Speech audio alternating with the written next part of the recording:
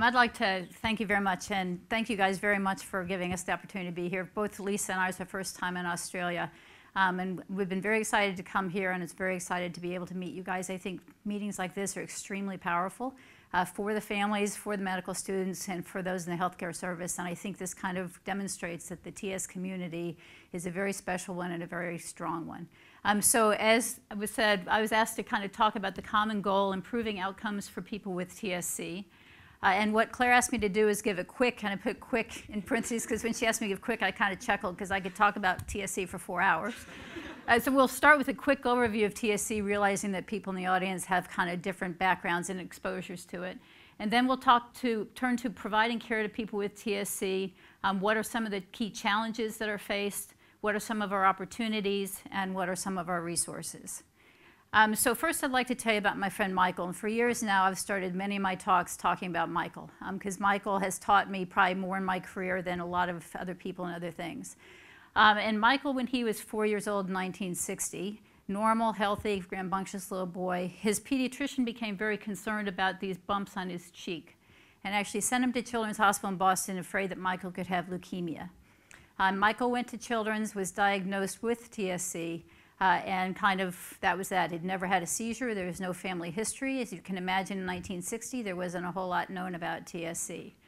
Um, Michael continued to be followed pretty closely annually. Uh, and when he was 12 years old, his mother called the pediatrician and said that Michael had been having flu like symptoms headache, vomiting. No one else in the family was really ill and no fever. Uh, pediatrician called the neurologist at Children's who said, knowing TSC, he'll likely need surgery. Uh, but knowing T this is TSC, there's no urgency. Uh, Michael went into Children's back then in 19, this was then 19, what, 70? No CT scans, really, no MRI scans. Um, they knew that he likely had a subependymal giant cell tumor. Uh, difficult to say which side it was on. Uh, so they actually did a pneumoencephalogram on Michael, which was injecting air into the spinal cord so they could try and visualize this. Um, they then needed to do a technetium brain scan to say which ventricle was this tumor in. And by the time they identified that and Michael had his surgery, the brain was under such increased pressure um, that he had a major stroke. Uh, so at that time, he was 12, cognitively normal, no history of seizures. Following that surgery, cognitively impaired, refractory epilepsy. Um, Michael went on to live his life with TS. He's now in his late 50s. Um, and he really has taught me a lot because through his road with TS, it's not just been the SEGA, it's not just been the seizures, not just the cognitive impairment. He's lost a kidney due to angiomyolipoma. Um, and over years, he also lost the ability to ambulate for reasons we don't really understand. Um, but what really has impressed me about Michael is he never gave up the quest to just live his life and not let TSC own him. So kind of with Michael in mind then, I'd like to start this kind of overview. And first with the key messages, I think, of what I'd like to convey this morning is that TSC is not rare. I mean, I think the TSC community really needs to continue to, to use this and make this so it becomes more and people are more familiar with it, both in the medical community and maybe especially the medical community, but also in the lay community. Also, TSC can and often does affect every organ system. And as I think we all know, the brain and the skin are the most frequently affected, both involved about 90, 95% of individuals with TSC. Um, also, I think as this group knows, um, but is extremely important, that individuals with TSC need to be closely followed throughout their lifetime. One of the things that will be talked about in the next few days is what can happen when with the different organ systems in TS. And it can be very complicated and confusing. And I think in order to really minimize the impact of TSC in an individual's life, people really need to be closely followed. Also, it, we've tried to make the point for many years that TSC serves as a great model system um, for epilepsy, autism, tumor growth, et cetera, trying to interest the wider medical and scientific community that from characterizing these things and understanding them better in TSC, um, it will provide general knowledge for the disorders in the, in the bigger population. And I think finally we have much more to learn about tuberous sclerosis complex to be able to reduce the impact in many lives. It's been a really exciting and we'll look, it's been a very exciting time the past 15, 20 years in TS and I think that will continue. Um, and so hopefully we'll make great strides in the future.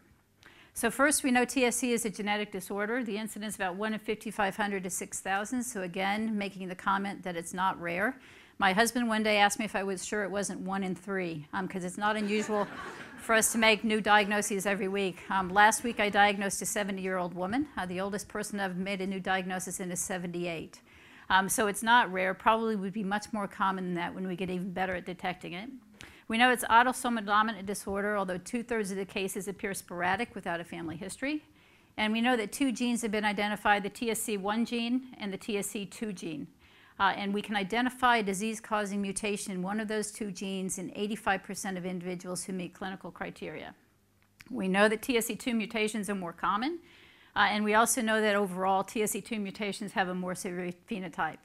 Um, and we've recently also shown that some of the people we could not identify a disease-causing mutation in is because they're mosaics, meaning they don't contain a copy of the mutation in every cell of their body, uh, but enough cells are involved to allow them to be led to the clinical diagnosis of TSC. Um, we also know that in TS there's a very wide phenotypic variability, including within families. Um, we take care of a couple four generation families with several people with TS and all sharing the same mutation. Some are very mildly affected, others are severely affected. Um, we don't know why that is, but something we'd like to understand. And we also know that gender somehow matters. And Lisa will talk more about LAM, which we know occurs almost exclusively in women. We now know that some men can have it, but we don't know why it's much more common in women. Uh, and also another gender difference in TSC is with autism, whereas in TSC, several groups have shown that it affects girls and boys equally, whereas in the general autism population, autism affects boys four times as frequently. Uh, so we don't know why that is. Uh, and then also a lot of the talking, as many of you know, very importantly in the world of tuberous sclerosis is was identification that the TSC1 and TSC2 um, proteins are components of the mTOR signaling pathway. Kind of when we talk about TS, I always like to talk about the history of it too, because I think it's interesting. It was first described in the 1800s. Uh, and then sometime in the early, late 1800s, 1900s, uh, was a description of people with mental retardation, seizures, and angiofibroma uh, as the vote called Vogt's triad necessary for the diagnosis of TS. And we now know that actually that triad is present in less than a third of people with TS. Uh, the 1993, the TSC2 gene was discovered. In 1997, the TSC1 gene discovered. And then in 2002, as we just said, the proteins were found to be part of the mTOR signaling pathway. In 2008, clinical trials with rapamycin were initiated.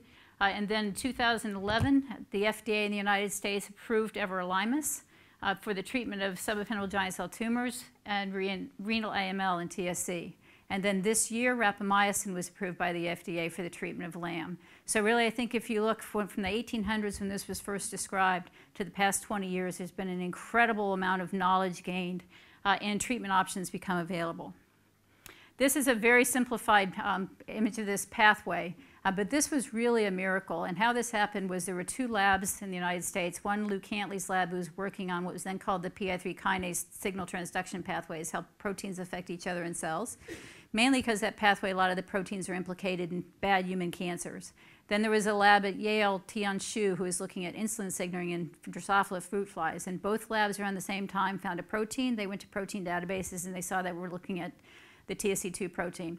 And that was honestly a miracle. Um, if I woke up this morning with the cure for TS, it would be a billion dollars in 10 years before that was available.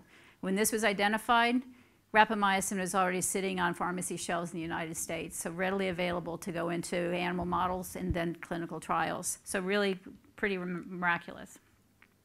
TSC remains a cl clinical diagnosis, although DNA testing now that's available also can play a role. And in 2012, a group of us got together an international conference to revise the diagnostic criteria. And I think importantly, to, again, multi-system involvement. Every, almost every organ system can be and is involved in TSC. And to be diagnosed with definite TSC, an individual has to have two major criteria, and we'll look at those in a minute, or one major feature and two minor features. And then we also have this concept of possible TSC, and I think this is also very important because as many as you guys know, different things with TSC can occur at different times during an individual's life. Um, so if a person has one major feature or two or more minor feature, that individual also needs to be closely followed to see if they do develop other features and if they do indeed have TSC, uh, we can also work as hard to mi minimize the impact of the disorder um, on their health. So looking quickly at the criteria, the major criteria, as you can see, include several from the skin and the brain. Um, and this is important for us to get the word out to the medical community because if I went into a dermatologist when I was an adolescent worried that I might have bad acne, um, and the dermatologist instead thought this might be facial angiofibroma and noticed either fibroma or white spots, then in that office that day, I could and should be diagnosed with tuberous sclerosis complex. Um, the lack of this awareness is actually what leads to often a delayed diagnosis of TSC. Similarly, if I was a five-year-old child, whoops, sorry, if I was a five-year-old child and went into an emergency room having a new onset seizures and I had a CT scan or a brain MRI which showed cortical tubers or subependymal nodules, um, then I could and should be that day diagnosed with tuberous sclerosis complex. All the other testing is done just to mainly to document other organ involvement, again, trying hard to keep people with TSC healthy. Um, so those are the major criteria, and then major criteria things that we see very, very frequently in TSC. They can be seen in the general population, but it's kind of uncommon to see them uh, in the general population. And then these are the minor features, which are things we see also commonly in TSC, um, but they're also seen more frequently in the general population. So those are the diagnostic criteria. Uh, and then kind of turning from that quick overview to what are the challenges of taking care of a person with TS. And I think about this both from the medical perspective and then also from the family perspective. Um, so from a medical perspective, it's a really, really complicated medical disorder. And I think I'm glad there are medical students here because I always tell the Harvard medical students, I think that this is the disorder every medical school should focus on um, because of its multi-system involvement and the complexity of it. Um, but as we said, it's multi-system involvement. different things happen at different times. Uh, in the United States now, most of the TS clinics are run by neurologists, um, and yet, especially as people age, because issues other than the neurologic issues, they really become kind of of paramount importance in that person's life. Mental health issues, particularly anxiety, and I'm glad Beatrice is here to talk about TAND because the mental health aspects of TSC are often under-recognized, underappreciated, and often have profound impact on an individual's life. Um, particularly that anxiety, really, really common. We find particularly with our adults with TS, that can sometimes complicate their care. Um, it just makes providing care to them more difficult because they get very anxious about different aspects, including their interactions and relationships with us. And then also, as was mentioned earlier, children with TSC grow up, um, and what then? Um, also in the United States, we'll talk a little bit about the clinics. Most of the clinics are pediatric clinics. Um, and people get very good, or children get pretty good comprehensive care, but then as the children grow up, um, they lose specialists who are aware of TS. The families lose, lose the care team um, network that they've had. Um, so I think that this is a big challenge facing, I think, us worldwide with regard to caring for individuals with TSC. And then from an individual with TSC or the family perspective, I think it's all of that. All of the things we just mentioned are, are challenges for people living with TSC, and it's way much more than that. Um, delays in diagnosis, which still in 2015 happen, um, can lead to an incredible sense of guilt um, and anger for parents. Uh, last week in Boston was a TS Community Alliance on Infantile Spasms, because this is Infantile Spasms Awareness Month in the United States. Both parents who talked are really painful because when their baby started these unusual movements, both parents, and I've found in my experience almost, I think there's only, with all the years I've done this, without exception, only one parent who didn't get that this was something very unusual. But these parents kept taking their babies to the physician saying, something's wrong, something's wrong, something's wrong. Um, and their concerns kept being discounted for different reasons. Um, and so there was a delay not only in the diagnosis of spasms and the treatment of spasms, and we know that has great impact. So both of these parents carry incredible guilt that they had not been, I think they were pretty amazingly strong advocates for their children, but they had not been strong enough advocates that that negatively impacted their child's life. Uh, so I think that's a huge, huge challenge for people and parents living with this. Then the lack of awareness and understanding can also lead to a sense of isolation and often helplessness. I think most people I take care of, first time they met a physician were diagnosed with TS, physician had never seen another person with TS. Um, and I think that any of us, if we had a healthcare problem and we were going to see a healthcare professional and they had no clue what we had, um, doesn't, it's not really confidence inspiring. And I think it really does cause this incredible sense of loneliness and helplessness. And then, as was said, TSC affects not just the individual, um, but the family. And I so agree uh, that in our families, sometimes the siblings become also the handicapped ones because so much focus is put on the healthcare needs and needs of that child, even though families and most families I know are trying to juggle the care of all of their children and maintain life. Um, but it really is something that the family needs to be taken care of as well as the person living with TSC. And then just a couple of comments that folks that I take care of said we hear a lot is many people will say that living with TSC is like walking in a minefield. Um, right now, it might be the seizures or something, but the next step you take is there going to be a problem with the kidney or a problem with other aspect of TS. Again, a big challenge with a disorder with uncertainty down the road. Uh, and then other families will say, we're just always waiting for the sky to fall or the other shoe to drop.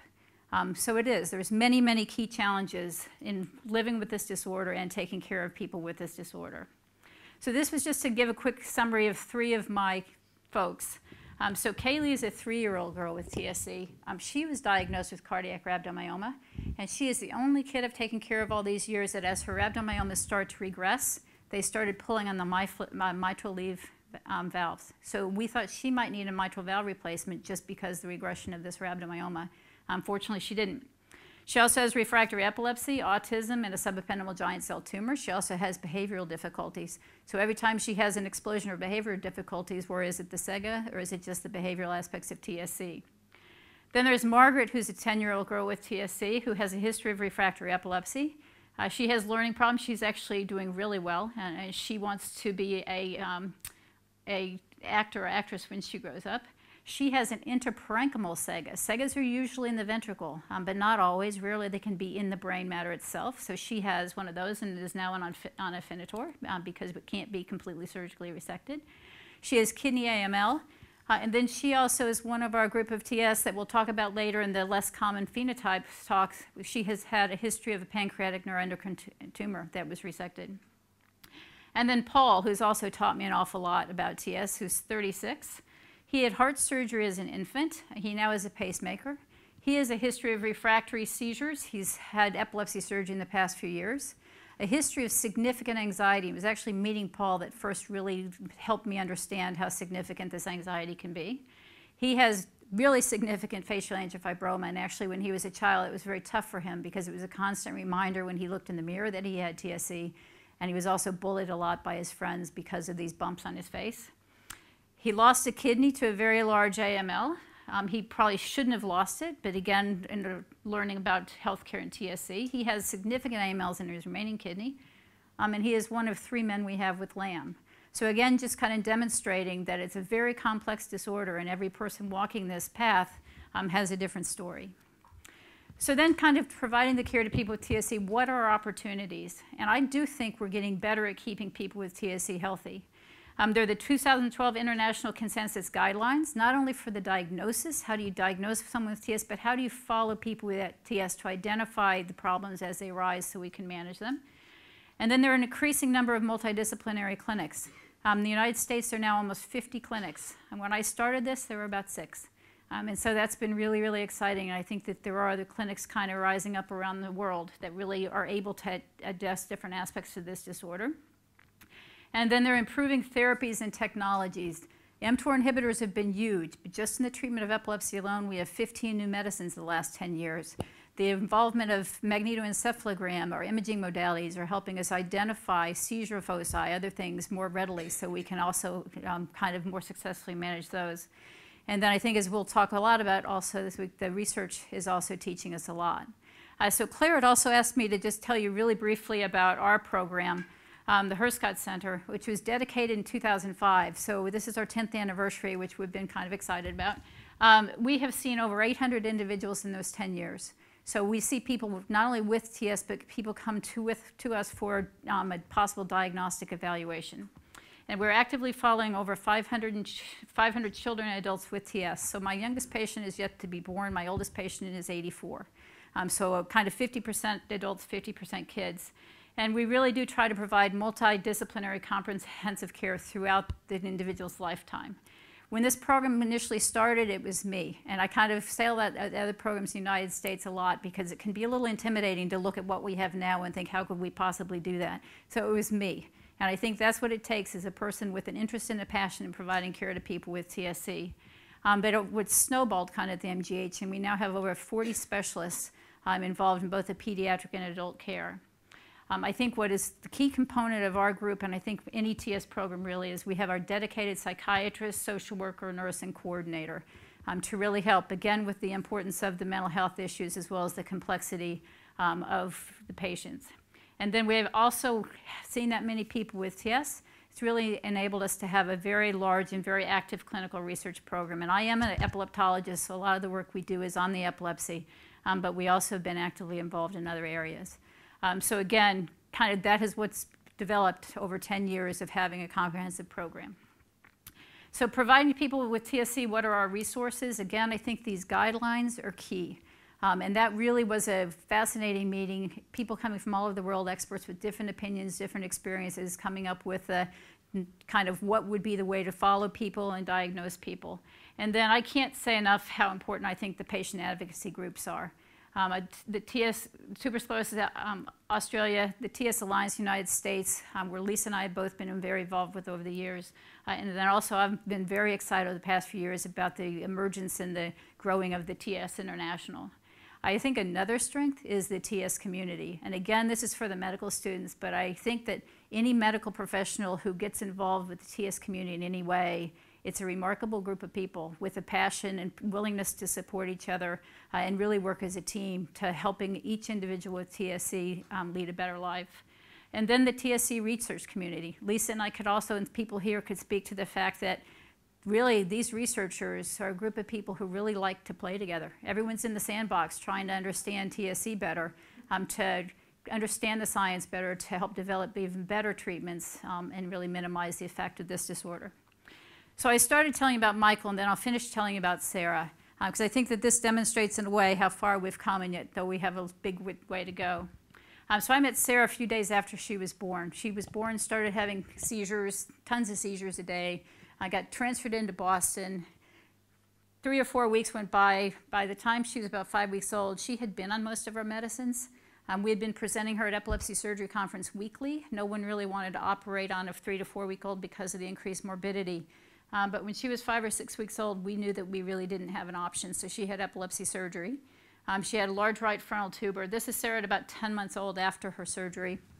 Um, Sarah was seizure free for many years after her surgery has a little bit of weakness on the left, um, both in her arm and leg from the surgery. Um, but her parents would tell you they would gladly take that over the 100 seizures a day we couldn't stop. Um, then this is Sarah in 2006, 2007. Um, and this is Sarah now. Sarah's now in high school. She's a fantastic kid. Uh, her seizures recurred a couple years ago, but are, are well controlled now on single um, anticonvulsant drug. She's had issues with, with anxiety uh, that we've really worked closely with. Uh, and she's being followed. We see her annually to monitor for other aspects of TSC. And Sarah and her family know that it's uncertain where the road is going to lead her, but I think that they have great, great trust and hope that by efforts such as going on here and the research and the clinical care, um, that Sarah will really be able to live a pretty normal life and um, the impact of TSC on her life can be minimized. But if Sarah had not had that surgery, um, Sarah would not be there. Sarah would be probably nonverbal, non-ambulatory. She would have a different life. Uh, so again, really, really important to provide comprehensive care, aggressive care, particularly with regard to the seizures and other aspects, uh, to make sure that TSC, we can minimize the impact on people's lives. So anyway, I'm really, really happy to be here and looking forward to the rest of the meeting, and thank you very much.